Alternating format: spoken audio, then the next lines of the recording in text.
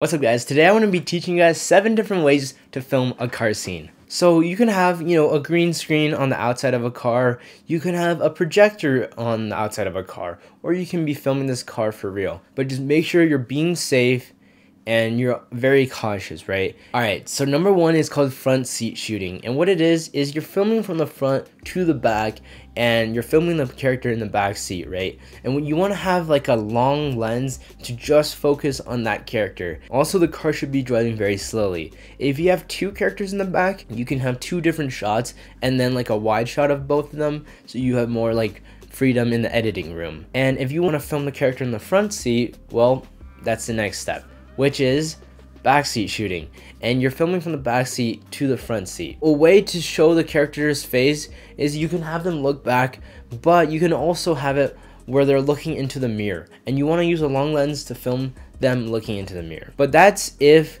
the character is not that important that's driving like a taxi driver. I'm just saying like if they're not very important in the story. But if they are important to the story, Film it from the passenger seat from the side. It makes us connect to the character a lot more better. Next is for car dialogue.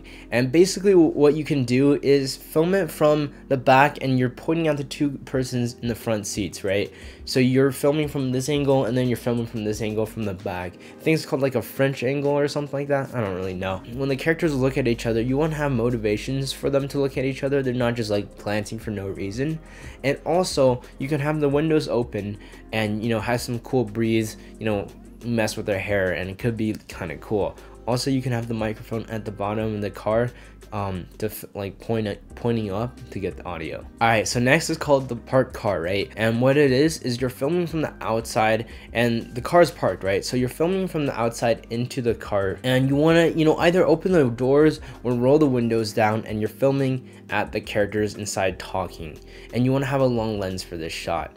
Also, make sure the characters are not moving a lot because that kind of moves the car a bit on the edge of the frame and that looks kind of weird. The next thing is like leaving the car, right? So what you do is have the character, you know, they're getting out and have the camera like kind of track up and, you know, follow the character. And also make sure her eye line is very tight, like she's looking at something right next to the camera, just makes it a lot better. And also you can use like a longer lens. So as she's going up, you can cut to like the long lens to get closer to her face. Next is called the car walk, right? So this is not very common in real life, but in movies it's used a lot, right?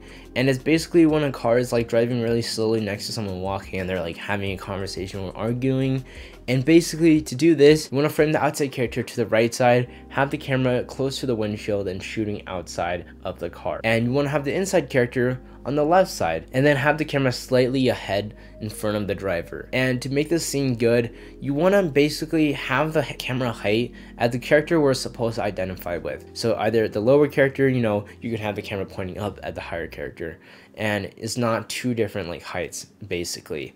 And also make sure the car is going very, very slow to make this look good. Next, it's called shooting through window, and this is, could be used, you know, in a stakeout scene or the characters are waiting for someone. They're not talking to each other. You want to have a lens to one side, filming the character behind the character that's in front of the camera, right? And another angle could be the other character that's blurry, and you film that character from the front. That made no sense. Okay.